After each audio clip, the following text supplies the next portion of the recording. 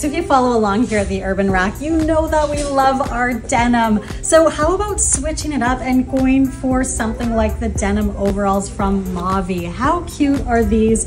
What a great little weekend outfit going to the market, heading to a brewery or whatever your weekends bring you with lots of ways to style. You can do the little waist tie here or throw on your favorite pullover over top um, or even switch it out for a leather moto jacket and sneakers.